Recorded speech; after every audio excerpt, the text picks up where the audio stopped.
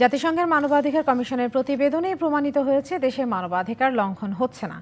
এই দাবি করেছেন স্বরাষ্ট্রমন্ত্রী আসাদুজ্জামান খান কামাল। অন্যদিকে বিএনপি মহাসচিব বলেন, মানবাধিকারের বিষয়ে অপব্যাখ্যা দিয়েছেন মন্ত্রী। তিনি আবারও দাবি করেন, অসংখ্য নেতাকর্মীকে গুম, খুন করা হয়েছে। রাজধানীর কারওয়ান বাজারের একটি হোটেলে নারী উদ্যোক্তাদের নিয়ে পঞ্চম দক্ষিণ এশিয়া সমাবেশের আয়োজন করে ইনার হুইল ক্লাব।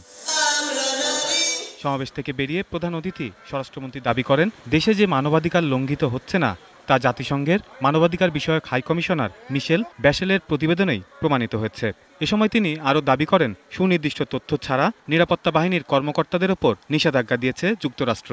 তার বিজ্ঞতার তিনি দেখিয়েছেন এবং বাংলাদেশে কি হচ্ছে, বাংলাদেশে যে মানবাধিকার আমাদের সরকার লঙ্ঘন করছে না, বরং আমরা খুব সযত্ন সহকারে, সচেতন সহকারে আমরা দেশ চালাচ্ছে আমাদের মাননীয় প্রধানমন্ত্রী সেইটাই তিনি বারবার উল্লেখ করেছেন। অনেকেই অনেক কথা বলে আপনারা জানেন আমি সবসময় বলে থাকি তথ্য ছাড়া প্রমাণ ছাড়া কিছু বললে সেটা জনগণ বিশ্বাস করে না জনগণ সেগুলো আস্থাও নেয় না। এদিকে গুলশানে বিএনপি চেয়ারপারসনের রাজনৈতিক কার্যালয়ে সংবাদ সম্মেলনে দলটির মহাসচিব বলেন মানবাধিকার লঙ্ঘনের জন্য নিরাপত্তা বাহিনীর কর্মকর্তাদের নিষেধাজ্ঞা দেশের জন্য লজ্জাজনক।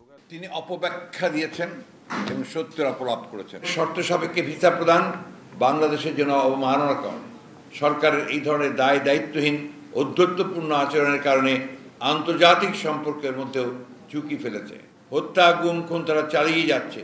সেই প্রেক্ষিতেই মার্কিন যুক্তরাষ্ট্র তাদের দেশের আইন অনুযায়ী আমাদের দেশের প্রতিষ্ঠান র্যাবের ওপর এবং র্যাব ও পুলিশের কয়েকজন কর্মকর্তার উপর নিষেধাজ্ঞা আরোপ করেছে।